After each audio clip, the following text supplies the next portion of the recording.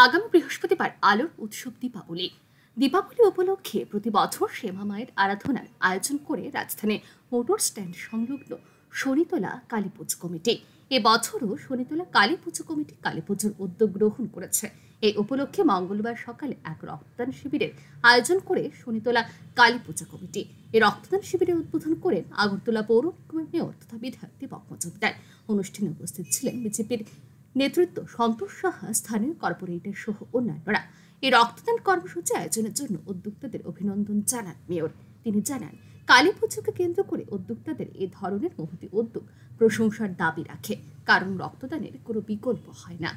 আগরতলার মধুসেন ছড়িতলা এলাকা হাসাটো নাম এলাকার বিবিসি উদ্যোগে স্বেচ্ছায় রক্তদান শিবির আয়োজন করা হয়েছে। আমি ওই ক্লাব কর্তৃপক্ষকে অনেক স্বাগত জানাই যে ক্লাবের অন্যান্য কাজের সঙ্গেও সামাজিক দায়িত্ব, সামাজিক কর্তব্য হিসেবে তারা এই কাজটা করছে।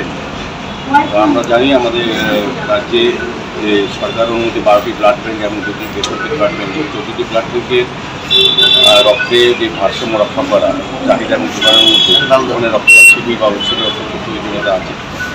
তো আমাদের রাজ্যের মাননীয় মুখ্যমন্ত্রী প্রফেসর ডক্টর মহোদয় সারা রাজ্যবাসীর কাছে, জনগণের কাছে এবং বিভিন্ন স্বেচ্ছাসেবী সংগঠনের কাছে আবেদন রেখেছিলেন রক্তদানে এগিয়ে আসার জন্য রক্ত সংকট দূর করার জন্য ব্লাড ব্যাঙ্ক দিয়েছে। ব্যাপক সারা মধ্যপ্রদেশ বিভিন্ন সামাজিক সংস্থা সরকারি পাঠা থেকে এই কাজটা করছে। তো আজকে বিবিসি ক্লাব ওটা করছে। বিবিসি ক্লাবের আগেও অনেক রক্তদান শিবির এবং স্বাস্থ্য বিভিন্ন সামাজিক কর্মসূচি এসেছি। আমার খুব ভালো লাগে এই ক্লাব বিভিন্ন সময় মানুষের যে কাজ করছে, মানুষের যে চাহিদা বা সমস্যা নিরসনের জন্য সামাজিক দায়িত্ব হিসেবে তারা এই কাজগুলি করে, সারা বছর ব্যাপী। আমার আশা থাকবে। প্রসঙ্গত উল্লেখ্য যে, এই কালী পুজোকে কেন্দ্র করে রক্তদান ছাড়াও দুস্থদের মধ্যে বস্ত্রদান সহ অন্যান্য সামাজিক কর্মসূচির আয়োজন করে থাকে Shanitala Kali Puja committee. Bureau report, R A News.